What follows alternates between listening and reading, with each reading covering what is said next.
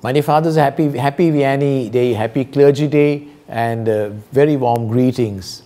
I wished you on the 4th of August, but I thought that I would take this opportunity to wish you once again today, Sunday. Uh, regretfully, uh, we can't meet in person, and uh, I know that uh, normally in every parish there will be lots of excitement and uh, programs and felicitations.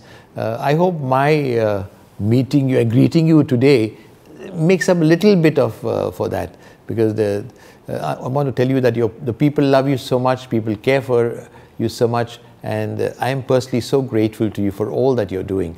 Uh, we are having our, we've been having our meetings of the deans and with the bishops, and we're trying to see how we could uh, really uh, go back to normal. even the very last uh, order from government does not allow us to open uh, the public places of worship. But we'll uh, gradually, I, I, I, think we will be able to give sacraments more and more. Holy Communion, confession, confirmations have begun.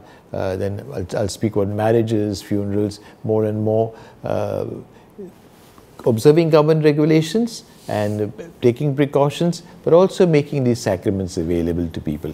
Uh, but to you, fathers, have a lovely day. God bless each one of you. I pray for you very specially. And uh, uh, I, I, I, give me great joy this morning to say Mass and uh, with many of you and uh, to be together with you. God bless you. Happy Vianney Day.